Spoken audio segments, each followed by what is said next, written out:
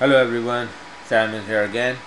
Uh, in the last video I showed you how to open a, a new account and uh, make changes and make the chart look like this.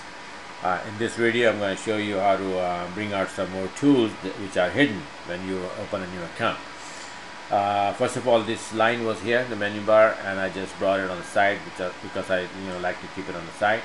Now I need more tools here and where are they? Right here this tool is Fibonacci retracement. Right click on it and uh, choose this customize.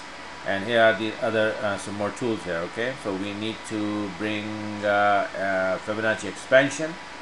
Uh, insert bring it on the right hand side. Uh, channel no.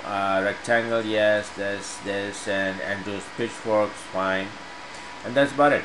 And here are these tools okay so they are very helpful too, especially this Fibonacci uh, expansion you need in uh, harmonic trading, definitely. These uh, fib, fib retracement and fib expansion, okay? So this is how it is. Uh, you have more tools now. And in the next video, I'll show you how to use Fibonacci. Or in, in, in fact, uh, first you need to learn how to uh, add some more values and uh, some levels, okay? So I will do that uh, in the next video. Thanks for watching. Have a great day.